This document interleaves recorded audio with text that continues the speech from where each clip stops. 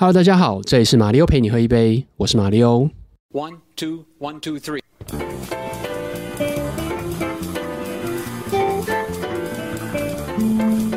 好，我们今天约访的老友喝一杯呢是 Jill 张敬仁。Jill 是非营利组织 Give to Asia 的亚太经理哦。呃，我跟他第一次访谈也已经是快三年前的事情了。他这几年可以称为是内向者最佳代言人哦，让很多人，包含了内向和非内向者，更加理解内向和外向各自有擅长和不擅长的地方和特质等等，以及内向者的优势，诸如此类的。而我在和他访谈那一集是第三季的第三十七集，播出时间是二零一八年九月二十一号。那你觉得运动经济那时候，你觉得它好玩吗？我好奇，超好玩，真的吗？无敌好玩，真的吗？你觉得它最好玩的地方是什么？那是那是所有，嗯我觉得啦，即使是现在过了这么多年，然后我跟人家讲到这个经历，我还是会觉得热血沸腾。然后，只要是你喜欢运动的人，听到这样子的工作，一样也会热血沸腾，因为那是就是每个人心目中梦幻的工作。其实我觉得最大的挫折，应该就是大家觉得你不存在，或者是没有什么想法。嗯，因为对我来讲，就像刚刚玛丽有分享的，对我们来讲，在大庭广众之下发表自己的意见，其实就是自己成为注意力焦点这件事情，是内向者比较没有办法适应的，比较有挑战的。可是通常在传统的设定里面，不管是在职场上或者在学校里面，你就是要站起来，你就是要举手发言，然后大家才会看到你，老板才会看到你，这样子。所以我觉得那个时候对我来讲比较大的挑战就是。呃，不讲话的话，好像就没有第二种可以表达自己意见的方法。嗯，那这样子就不讲话，就等于你没有意见，这样子。我后来就是 两，我觉得两个大原则听起来很不直观，可是就是我觉得越是内向，你越要往前做，就是在会议中越要往前做。然后第二个就是说，你越是内向，你越要站上台。反正就是有时候看起来就是很不直观的事情，其实反而是捷径，这是我后来体悟到的。我的一些外向下属他们会问说：“哦，我这样自己一个人很无聊。怎么能把它忍受的？”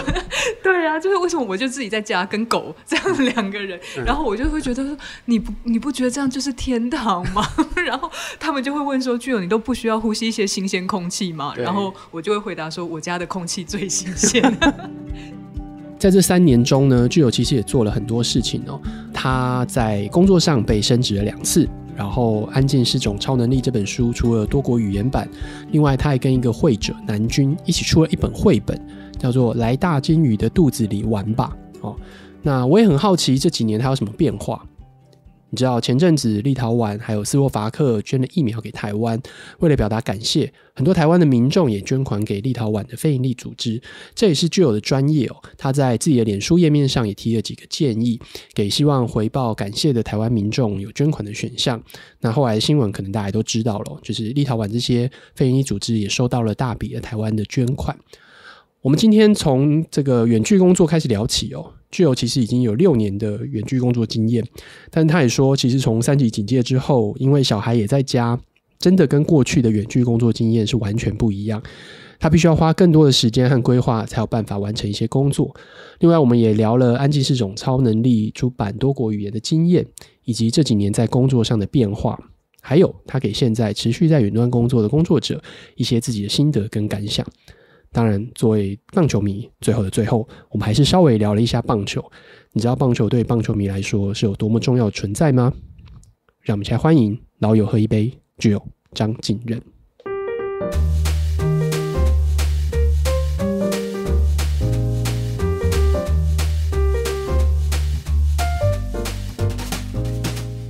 会觉得线上访谈跟平常线上开会有什么不一样吗？没有什么太大差别，因为我远距已经六年了，就还蛮习惯这一切的。但是我知道远距六年，可是好像这几个月应该比较不太一样。对，没远距不是问题，问题是谁跟你一起远距？嗯，台湾，我就是进自从进入三级，就是小孩没有办法去上学之后，就进入一个完全不同的境界里面了。嗯就就很修罗地狱啊！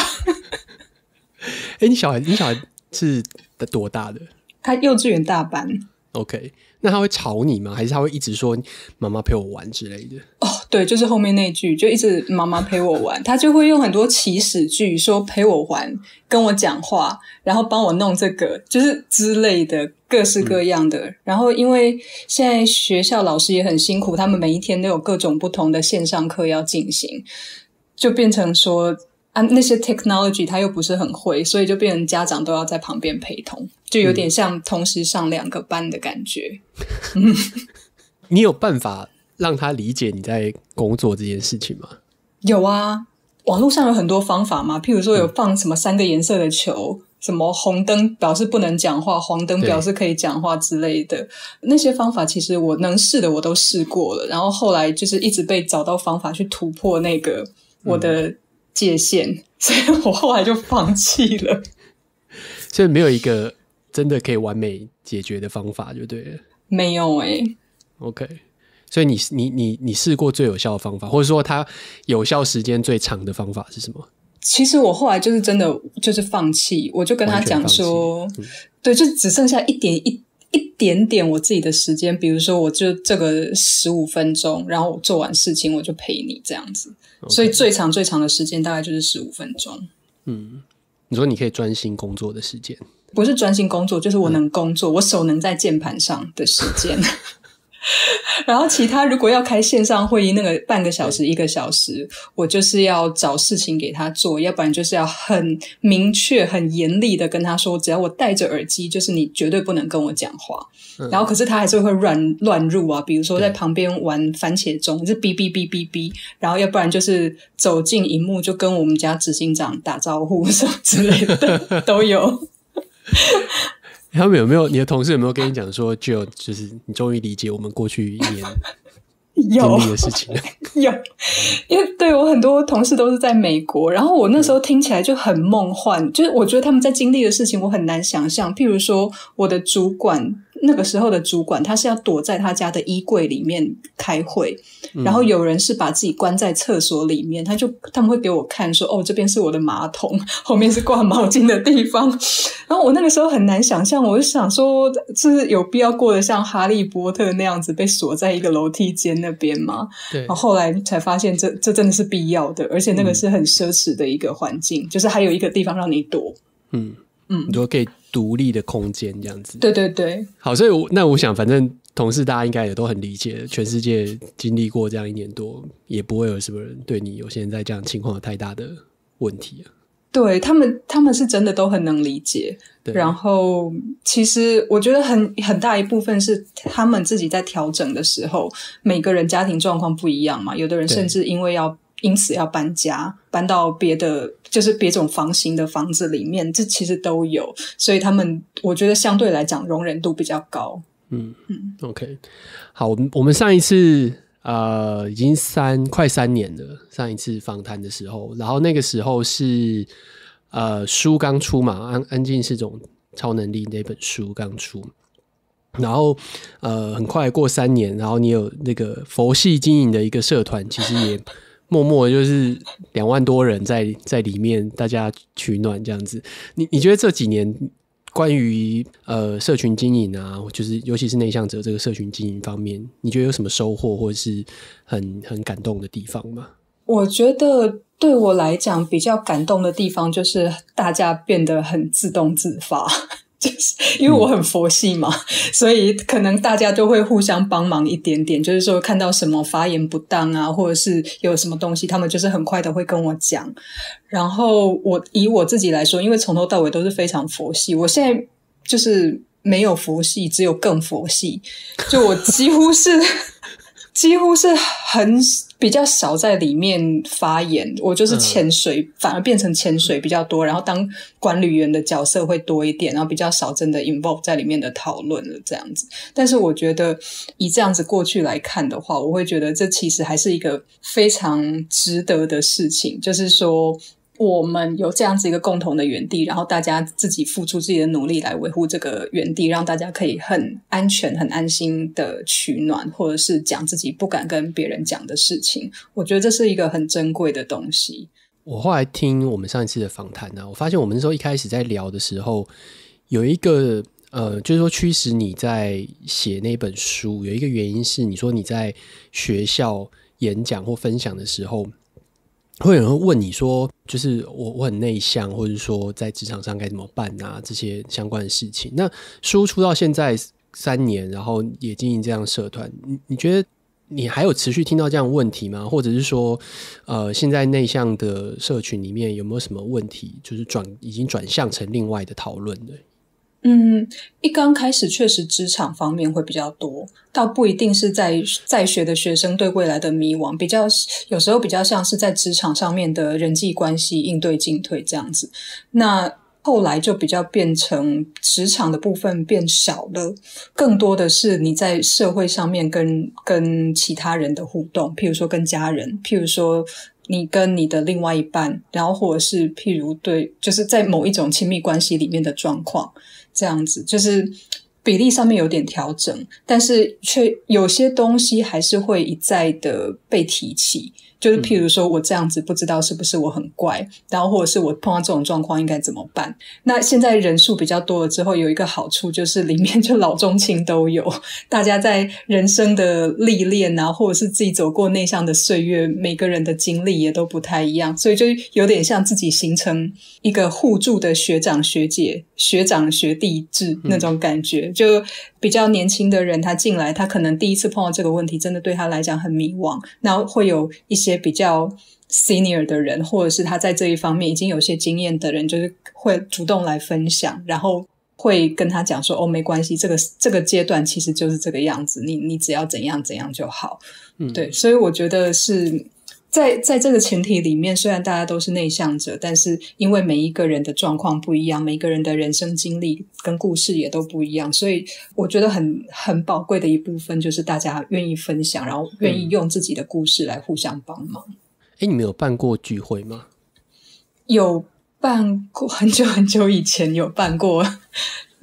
一次还两次吧。OK，对，嗯。嗯，那次我有点吓到，就是我我本来想说办个小小聚会，可能二十个人到四十个人，结果我去洗个澡，然后一出来发现我的报名已经到快两百个人了，赶快关表单，想说怎么了？所以那那一次是一个呃实体聚会吗？那是一个实体聚会，OK，嗯，然后后来是那大概在什么时候的事情？呃，可好像两年前的圣诞节左右吧。OK，你可以跟我们讲一下那个活动后来的样貌吗？那个活动后来就我觉得跟很多内向者的场合非常的通知性很高啊，就是你不管现场再怎么多人山人海，然后座位再怎么不够，就是一片安静。然后，然后呃，我在台上讲我的故事啊，或者是做一些分享啊，然后你会看到台下都听得很认真。但是，如果你把眼睛闭起来的话，你会想说这些人。会不会睡着了，或者是觉得很无聊？因为就真的是鸦雀无声。然后有一些小组，就是我我有先跟他们讲说，我要分，可能会分些小组，先让他们有心理准备。但是真的分组的时候，还是会看到有一些人还是会觉得有点没有那么舒服。就我我觉得，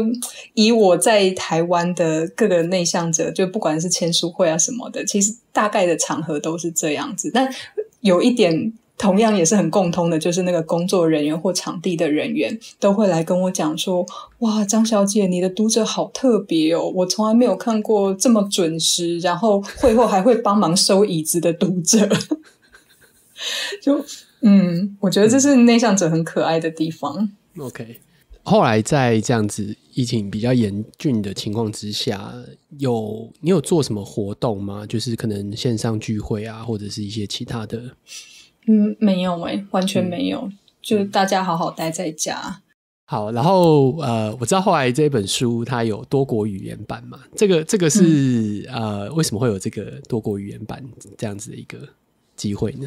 嗯，一刚开始出版社有先帮我推了韩文版，所以韩文版很快就卖出去了。那后来是我自己到美国去卖英文版。那英文版出来之后，其他市场好像就会比较容易一点。那个时候，呃，英文版出来之后，版权代理公司也有帮我在卖了呃日本啊、越南啊、俄国啊，好像还在其他还有其他国家还在洽谈中。嗯，那英文版我觉得我里面觉得比较开心的是，因为英文跟日文后来才知道就是很难打进的两个市场。然后这本书到后来就是，其实到现在已经两这两个市场都有进去了。然后我在美国还有得到他们的那个独立出版的奖，这样子。所以我怎么说呢？我觉得这个都是缘分啦。那个时候原本是人家帮我介绍的，就是我书里面有一些人帮我写推荐序，然后里面推荐序的一个作者，他就是自己在同一个出版社出了四本书，他就帮我介绍过去。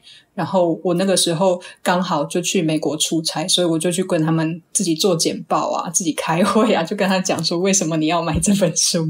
对对。然后后来就有这个机会。哎，你那时候跟美国的出版社还是版权公司谈？出版社直接跟出版社谈。OK。然后，所以等于说，在美国的出版之后，那后来其他国家。是有别的经纪公司帮你卖吗？还是嗯，对，其他后来都是经纪公司帮我卖。OK，台湾的经纪公司，台湾的经纪公司，对。OK，那你有收到什么，比如说不同国家的反馈吗？读者反馈吗？有啊，还蛮多的。因为我在 LinkedIn 上面也有一个有点像内向者小剧场的英文版，然后里面就来自各个不同国家的人。嗯，然后他们就是会跟我分享私讯，或者是在社团里面都会跟我分享他们的感觉。嗯，有什么值得分享的故事吗？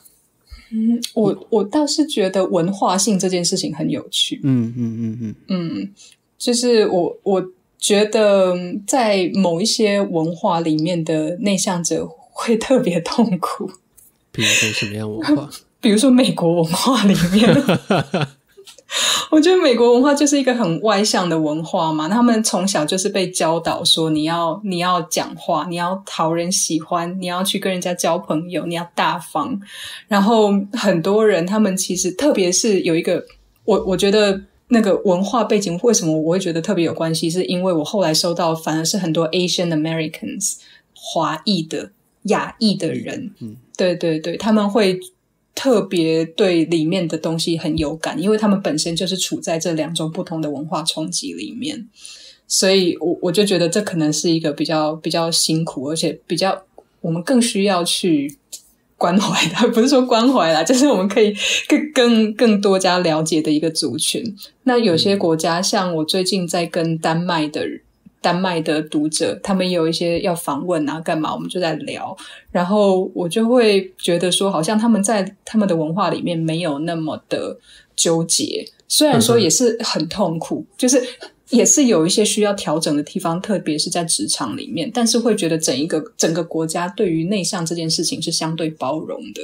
嗯嗯，所以就会有这种很多很多不一样，我就觉得很有趣。日本跟韩国呢？日本跟韩国，他们可能比较少用英文，所以比较比较没有收到他们的反馈。我很期待，就因为这韩文版其实有出了，但是我我这边没有直接得到什么样子的韩国读者的讯息。那日日文版是晚一点会出，我不知道到时候会有什么样新的反馈出现。OK，我好。怎么讲？好特别哦！就是，就当然，一般台湾的作者书来讲，当然还是以中文市场为主嘛。然后，然后这个议题，但我觉得这个议题其实是是共通性的，它不是只有存在在某一个某一个文化里面的。所以，能够从中文市场，然后到很多其他的地方，然后可以了解更多地方的一些文化还有想法，我觉得这应该是一个蛮酷的事情。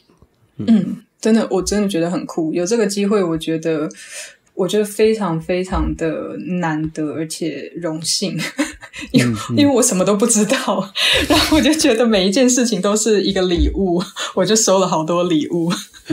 越南呢，越南文感觉这也是很特别，不知道不知道他们那边会怎么看这个样子。对对，而且我收到越南的封面的时候，其实我有吓了一跳。我有直接问他们的编辑说，因为他那个封面呢，我一般就就会觉得说这是职场书，然后或者是一个比较安静的书。结果他们封面设计成就是夜店的样子，就全都是那个霓虹灯拼成我的名字跟那个书名。然后我就我就问说，我请问我可以问一下为什么要设计成这样？然后可是我后面有补充说，哦，这个封面我很喜欢。然后他们就说，哦，因为我们的呃目标是比较年轻的族群，然后他觉得这样子的书风比较有办法跳出来，OK，呃，让年轻族群看到。这个很期待你如果有新的收获，可以跟我们分享一下，就是好读者的反应这样子。嗯。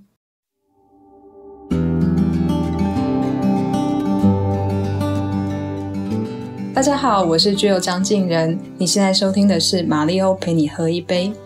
疫情期间，不用担心你没有学会新做的菜，或者是学会怎么弹吉他，因为我们现在都好好的活着。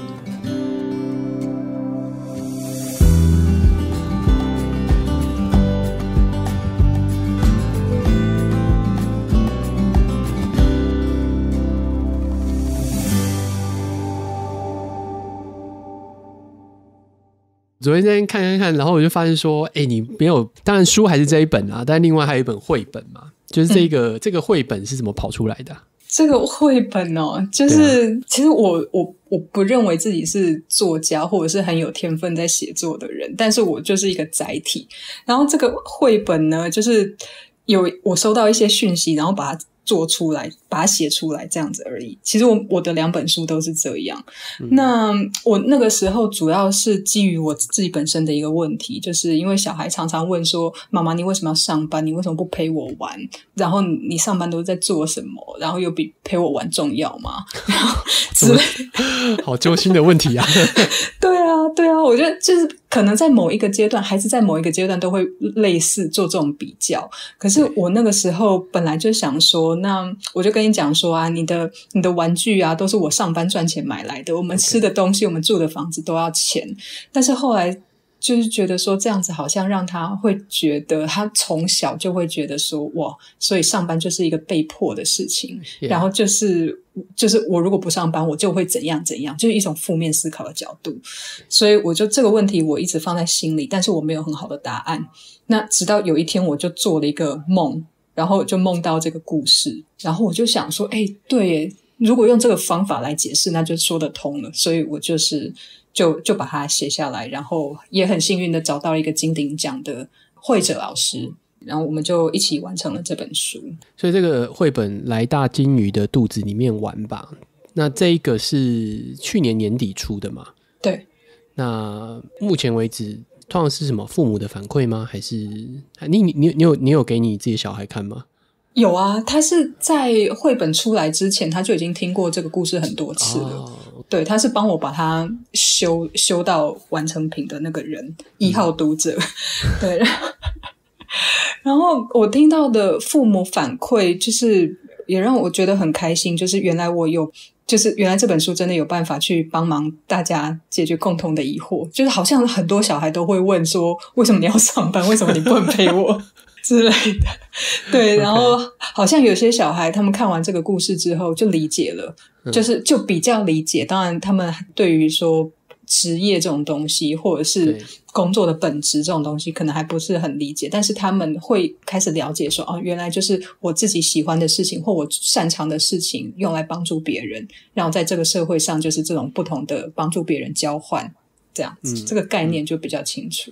这个绘本通常你您设定是给几岁的小朋友看的啊呃，我设定的是给低年级以下的人。？OK，那我们就看看这个之后还会有什么其他 相对的故事。就是如果你的小孩还有其他的故事的时候，说不定我们就有其他的 东西可以看的这样子。OK，好，另外一个我觉得很有趣，特别想要聊的就是那个捐款的事情哦。其实这个这个这个其实也是很很有意思哦，但很可爱的一个事情。就是前一阵子立陶宛跟斯洛伐克都有捐疫苗给给台湾嘛，吼，然后那当然台湾对于这两个。呃，国家其实是相对来讲比较陌生，并不是那么多人知道。嗯、去的可能当然也很少啦，吼，然后可能也不熟悉说，呃，该怎么样去去做一些呃善意的回馈，然后你就有跟大家讲一些捐款哦，捐款给当地的一些非营利组织，这是一个很直觉，对你来说是一个很直觉的想法吗？还是你你有透过什么样的思考的方法，然后追跑出了这个想法这样子？嗯，我觉得超直觉，真的超直觉，因为我平常就是这样子做的，就因为我怎么说，我不是一个很会买东西的人，我很多东西会。就就没有没有太高的物欲，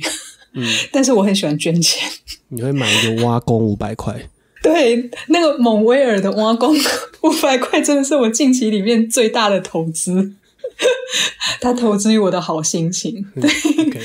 然后我其实那天我妈才在跟我讲这件事情啊，因为她就在讲说，哎，你不是不过捐了钱，为什么大家反应这么大？好像好像很多人都觉得这是一件好事情。她就说啊，你不是从小就这样？我说对啊，我就我只是把我做的事情把它抛在脸书上，然后跟人家讲说，如果你要想跟我也想跟我一样找人捐、找地方捐的话，那可以捐给这些。就其实就是。就是这样子而已。嗯嗯嗯。但你在捐的时候，尤其是呃相对应没有那么熟悉的的地区的话，通常你会有什么流程吗？就是方法之类的。嗯，像我这次建议大家的，就是透过 Global Giving 那个平台。那因为它是美国的一个平台，所以我对他们的那个责信的那些体系相对熟悉。所以我透过他们那个平台，主要就是因为美国要做海外捐款的时候，他都会对这些收款的组织做 due diligence，就是他要去看他的财报啊、年报啊、董事会啊那些，来确定他的这些款项，这个组织是合法正当，然后他的款项他会有管理能力，就是他们的团队什么的是 OK 的就对了。所以我看到，我知道说哦，我想要去捐给。立陶宛的时候，我第一个想法就是我要找这种第三方，就是第三方的平台，所以我那个时候就去找了 Global Giving。两个都是立陶宛跟斯洛伐克都是。斯洛伐克比较难，因为 Global Giving 上面没有斯洛伐克的。呃，斯洛伐克的话，我就是自己靠英文去搜寻，然后搜寻到一堆的那个斯洛伐克文的网站，然后我再用 Google 翻译翻成。英文或中文去知道它里面的资讯，然后也有看到它里面有一些那个财报、年报的揭露。以我自己的判断是，那个是 OK 的这样子。诶，所以那个立陶宛那个捐款呢，是后来那那些单位是有知道你是这个默默煽动大家捐款的 的的人吗？他们知道，其实是我主动跟他们讲的，因为。我我那个时候就是想说去跟他们打声招呼，嗯，就是让他们知道说这些台湾人的捐款是为了感谢你们捐赠疫苗，对，不然他们一定会觉得莫名其妙，想说为什么一夜之间就那么多台湾来的捐款，对，所以我我有跟他们每一个都打声招呼，就是说这个是台湾人为了谢谢你们，然后我们我们想要为你们做一些事情。那像你刚刚讲的，Global Giving 是一个第三方单位嘛，所以当然它会有一些。呃，他们自己的验证的方式，或者是去做刚刚讲的这个滴滴的一个工作。但是，像你自己找的时候，除了看呃财报年报之外，你你还会比如说他们在做的，因为每一个非营利组织可能他们倡议或者他们专注的议题可能都不太一样。你你个人或者说你会建议大家有什么特别的偏好吗？嗯，其实不会，我觉得大家就是捐自己想捐的，然后跟你理念相符的。我说理念相符，倒倒不一定是宗教或者政治相关，那个倒不一定是，而是去看他们在做的事情是不是你认同的。譬如说，有些人会觉得我就是救急不救穷，然后有些人会想要这个专案比较有中长期的那个稳定发展的潜力。那有些人会觉得说，我希望这个专案是有专业人士来做的，所以我希望那个人事费用，我会希望他们是有专业人士的。薪资水准，然后有些人就会觉得说，反正我希望越多的钱到直接受益者身上越好，我那个人事费用要尽量减低。我觉得就是这些这些东西，大家可以去看看，说你自己的理念，还有跟这个组织的做法是不是相符，就可能就有点像是你在买股票或者投资一间公司，或是买一个产品，你会之前你会做的 survey 一样，看那个是不是你喜欢或认同的东西。OK。可是通常像这种捐款应该是呃，如果可能很多是一次性的，然后可能是出于一种感性冲动性的，就好像冲动性购物这种样子的话，你觉得大家还会这么在意这件事情吗？还是可能就是有一种很真的就是很情绪的很的说好，我觉得我要做一件事情，然后我丢出去了，我觉得我做到了，然后耶很开心这样。对对对，其实很多人都是这样子，就是我们在讲有一个一有一种叫做 givers high，就是你做完好事之后，你会觉得心情很好。然后我我身边观察的，然后跟我们这次事件里面看到的，就是很多人他们其实也只是想要付出自己一点力量，然后觉得很好这样子而已。他们他们。对其他的事情真的完全没有在求回报啊，或者是连抵税什么完全没有在问啊，就直接捐了。那我觉得，如果以一个感性以感性为基础，就是这种一次性捐款都是以感性为基础的，那这个当然是非常的合理的一种。管道或者是路径，但是我们在接触的，在我工作里面接触的，比如说很多都是有钱人的个人或家庭基金会，那他们在做这种捐赠的时候，他们其实会用一个非常理性的角度来看，然后那个时候就是必须你要跟他们分析效益啊，然后跟甚至跟他们律师、跟他们会计师全都谈过了之后，他们才会去做这种长期性的、有目的性的捐款，然后。他们背后的想法可能是要造成某一些社会上的改变，所以。我没有说哪一种是比较好，哪一种是比较不好的，但是我还是会觉得说，身为一个有责任的捐款者，我还是会鼓励大家说，多去了解自己捐款的对象，还有这个钱的流向，还有这个钱的用途，甚至是谁在执行这些钱，谁在花这些钱的。我觉得这个不管是对我们自己，或者是对非营利组织的监督来讲，其实都是一个。比较健康的方向。嗯，诶，刚刚讲到你自己的工作，那我其实也蛮好奇，像你这样三年来的工作有没有什么变化，在你的 Gift to Asia 这个工作领域上面？有啊，我我这三年来升职了两次，然后 每一次都觉得很痛苦。因为我不是那种，我不是那种在工作上非常有野心的那种人啊，然后我都觉得我是被升职，而不是我想要升职，所以那个心态上就差很多。然后我觉得对我来讲比较。需要适应的地方，是因为我现在主要管两块，一块是亚洲的非营利组织，大概有四百个非营利组织是在我的 portfolio 里面，然后在美国的就是个人跟家庭基金会，这些都是有钱人的这种，大概一百个左右。那在美国这一块是我比较我觉得比较痛苦的，就是因为除了我的专业能力可能要更精进之外，很多东西是因为我不是美国人，然后他们要我做美国人的工作，就等于我要从头开始学他们社会的观点，然后他们的文化性怎么样，就是很多其实不是不是写在。工作守则里面，但是你就要想办法去找到你的方法来跟他们沟通。然后我又是募款嘛，又是要要请他们捐钱，所以就要中间中间就觉得那个我是外国人，然后面对很多美国人，可能就是那个鸿沟，可能是我要比较努力去把它补起来的。嗯，你遇到的那个鸿沟有没有什么具体的经验是可以分享的？譬如说，我是到后来才知道，跟 Indian Americans 打交道是多么一个难缠的过程。嗯哼，就是因为美国它是一个多种族的国家，所以我们在在跟这些 donors，虽然他们都是美国人，但是他们自己的那个文化背景不一样。比如说，你跟 Chinese Americans 打交道的时候，他们可能就会。特别关心某些事情，那这个对我来讲可能就比较好理解。可是碰到一个你完全不熟悉的文化出来，譬如说像 Indian Americans，那他们不管怎样，就是先跟你谈说我的那个费用要砍半。那这种对我来讲就是。就是一刚开始会想说哈，我们什么都还没讲，你就要先砍我费用，为什么？是我表现的不好吗？或者是怎么样？就是会心里会有这种来来回回。然后后来也是慢慢的去跟主管讨论，跟我们执行长讨论，然后他们也是要慢慢调整啊，就是知道说哦，在碰到不同的人的时候，嗯，沟通方式要有什么不一样。那比如说有些客户他们会派他们的律师来，或者是会计师来，那他们的切入角度可能又跟客户本身自己又不一样，所以这些很多美美告告都是还在学习的。嗯，这个是从什么时候开始啊呃，从去年五月开始，？OK，嗯，但是从去年五月开始，你应该就等于也不能够飞了。对，所以就变成说几乎没有，反正就是一定要用线上的方式在做各种各样的沟通。没错没错，嗯，OK，会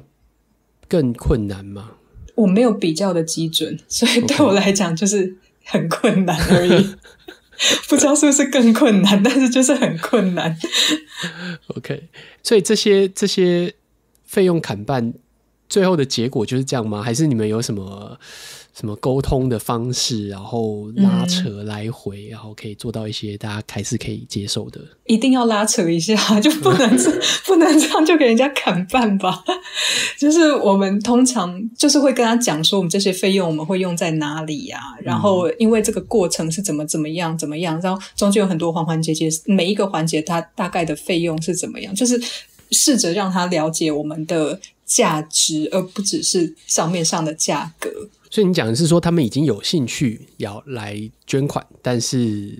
针对这个费用部分，就先来拉扯一番这样子。没有，我发现 Indian Americans 他们就没有在管的，他们不管有没有兴趣，他就先给你砍一下，就好像是一种起手式。我后来也慢慢习惯了。OK，好，所以除了呃升职之外，还有什么其他的变化吗？除了升职之外，可能就是我的密切合作的团队变成我有两个助理，一个是在菲律宾，一个在美国。那我之前工作的伙伴都是在相近时区的，然后我现在是第一次就是要很密切的跟相隔十五个到十六个时区的人联络，这样子。OK，、所以台湾还是你一个吗？没有没有，我们有另外一个同事了。哦，OK OK，恭喜恭喜！对对对，我打从心里感到非常开心。好，这个但你还是持续远距工作嘛？因为工作了这么多年了哦、你你觉得包含了最近这几个月，你自己又我相信又在进一步的升级了哦，就是因为有新的挑战，新的跟你一起工作的小室友，就是让你的工作挑战度增加，所以你自己应该有多了更多的经验值。呃，你觉得你有什么自己让？不管是过去这五六年累积的经验，或是这几个月呃新增加经验，你觉得有什么远距工作的心得是你可以分享的呢？对我来讲呢，可能就是很多是你要调整自己的节奏，因为我我其实呃前阵子还有开了一个线上课程，就是教大家怎么样去做那个远距工作，叫做远距工作模式的技术这样子类似的课程。然后我发现很多人的纠结是在于，他们很想要把实体工作的模式直接移转到远距工作上面，那这个中间就会有很多。不同程度大小的摩擦跟或者是磨合需要进行，那我会觉得说，其实远距跟实体在办公室工作本来就是两个不同的东西，所以其实真的大家也不要太太硬要把 A 模式去套在 B 的 setting 上面，我觉得那样子可能比较行不通。我觉得或许比较有弹性的做法呢，是你第一个，我我们可以把远距当做一种选项。而不是一个被迫产生的结果，或者是一个比较酷的工作方式。我觉得就是把它当做一个很中性的事情，然后这样你才可以比较客观的去看，说我们这个团队、我们这个工作性质、我们这个业务内容是比较适合远距，或是比较适合大家进办公室，或者是我们可以比如说一半一半，或者是三成七成这样子。我觉得这是第一个在心态上面，然后第二个呢，我觉得就是。每一个人在转到远距的过程中，一定会或多或少经历一些适应期。小从你的家里的装备需要升级，大到譬如说你跟怎么跟家人去安排时间的分配，然后怎么样不被打扰等等。我觉得每一个人都会碰到有一些波折啦，所以这这不可能是无缝的事情。所以我觉得。我觉得其实蛮重要一点是要适时的求助，因为我们很多时候，我觉得尤其是在台湾的文化里面，或者是一个一个很当责的文化里面，大家或许都会把压力放在自己身上，会觉得说这就是我的工作，我就是要把它完成。然后我我刚开始也是这样想，可是后来觉得其实真的好累哦，因为我我那个时候因为刚开始我的小孩在家的时候，我等于只有我每天都是工作到快凌晨两点，然后早上六点又开始工作，因为我自己的时间很少。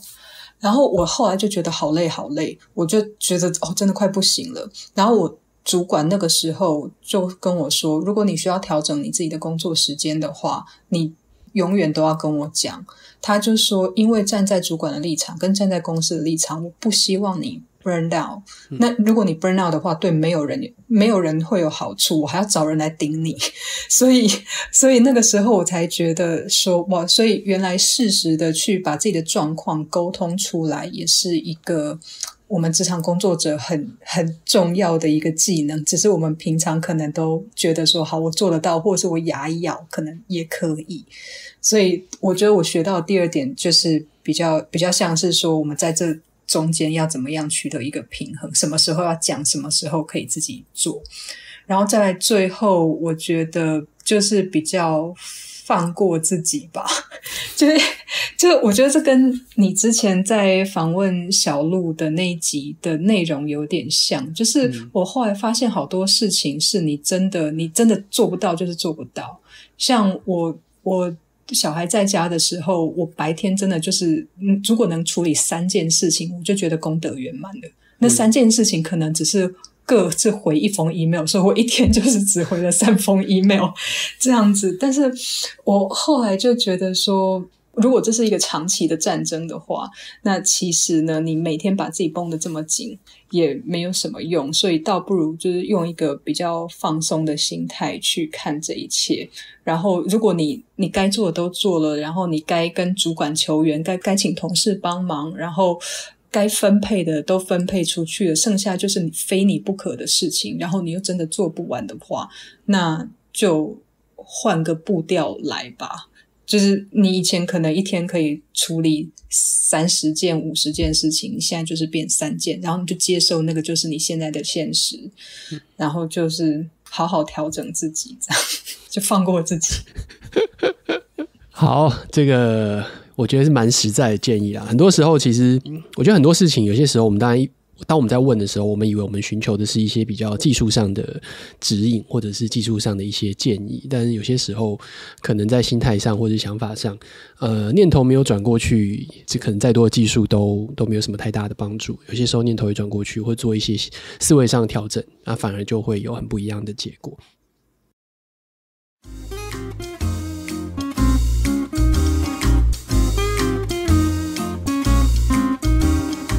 因为你一直在做远远距工作，所以我其实也是蛮好奇，你有没有这样子的一个习惯？嗯，就是因为最近大家都一直在讲说，当我们开始在家工作、远距工作的时候，我们要怎么样切换工作的节奏？就是你要从在家，然后一种比较休闲的状态，进入到工作的状态。之前可能是靠通勤来转换这样子，那现在后来大家讲说，我要有一个仪式感，我要怎么样开对工作？你你自己有这样子的一个仪式感，或者是切换吗？不太有诶，可能是因为我没有时间，就是很多时候就是就我不知道你可不可以想象那种状况，很多时候你工作，尤其是小孩在家，你是必须要偷做的，所以比如说你抓到五分钟、三分钟，就赶快弄个什么东西这样子，所以比较没有办法有一个完整的仪式。那为了达到最大最高的效率，我即使是在开，就是睁开眼睛。之后，我听到，比如说留学那集，他说他会发呆，我干嘛？我想说，我根本没有发呆的时间，我就是想要赶快在最短时间里面，就在我小孩醒来之前，赶快把事情弄完。嗯，对，所以我是一睁开眼睛，就是基本上是梳洗完毕，就是可以直接上工开会的那种。你知道，如果这样讲，我应该要去问一下那个，再问一下福哥，还有没有什么？不一样的，因为我上次问他的时候，他跟我讲说，他早起就是为了要在他小孩子起床之前可以先工作。对，五点起床，然后不行哎，好四点半。那个真的是对我来讲很难的，因为我是一个很重睡眠的人。如果可以的话，我一天需要八小时。对，然后早起会让我每天心情都很不好。就没有早起就是要早睡啊，他那个意思是一样的啦，他没有说睡不够，哦他他其实是睡够的，他就是比如说四点半，他就是可能十点他就睡了这样子。对，但是我我相信某部分来讲，可能妈妈的角色跟爸爸的角色搞不好又会不太一样，就问问他。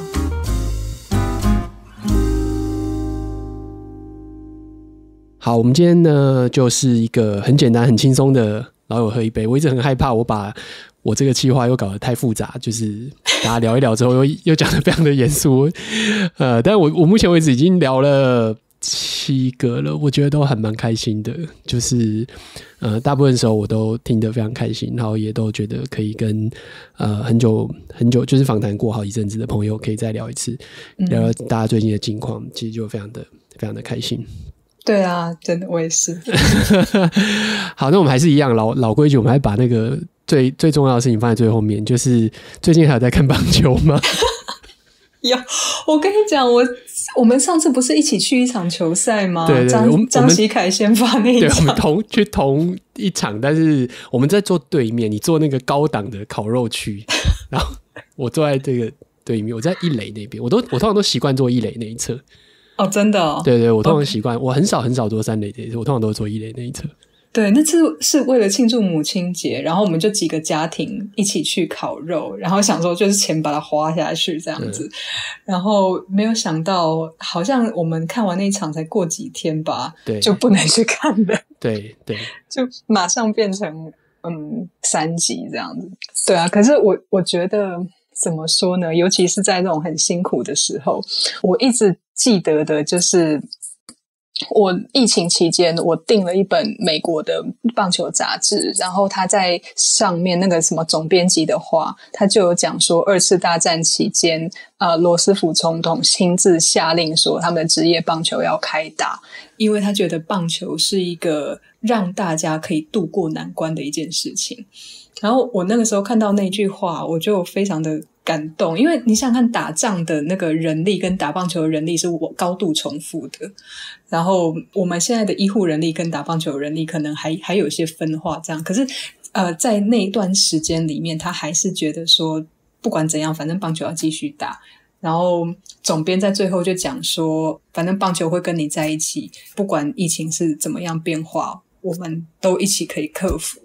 所以我我就突然就觉得说，哇塞，原来棒球是这样子的意义。对对我们棒球迷来讲啦，它真的就是一个精神上的意义。那也真的就是中华职棒开打之后，我突然觉得，哦，真的好像就回神的那种感觉，你知道吗？就是 好像之前都是在。就是三级，然后每天在弄小孩，在煮饭，然后在熬夜干嘛？就是有一种懵懵妙妙的感觉。但是这种棒球回来了之后，我就好像找到开始找到生活的步调，知道什么时候该做什么，然后知道 就比赛开打了耶！对对对对，至可以打开电视。对对对，至少至少可以可以有棒球看，然后我们知道说这个世界还是在运转的，很多人还是在努力做他们自己的事情。棒球迷有大概可以很容易理解这件事情，不太看棒球，不太棒球。可我我每次都喜欢跟他解释，就是为什么要看棒球，就是跟人生有关啊。不过，嗯，很多人可能不是那么容易理解，但的确，我想，呃，喜欢的人大概都可以理解你刚刚讲这些这这些事情，这样子。OK，好，我们今天非常开心哦，谢谢 Jill 来马六陪你喝一杯的老友喝一杯。呃，上一次三年前跟我们讲了很多关于内向者的事情，那今天呢，呃，我们就稍微聊一下，包含了他前一阵子有出一本绘本，然后也有跟大家分享一些包含了立陶宛或者是斯洛伐克哦，那些捐疫苗给我们，所以有一些台湾这边的呃善心啊、善款也都回应到当地的一些非营利组织，是非常有意义的。那也希望这个呃大家这一集听得开心，然后就有今天聊得非常开心，谢谢你，谢谢大家，谢谢谢谢大家。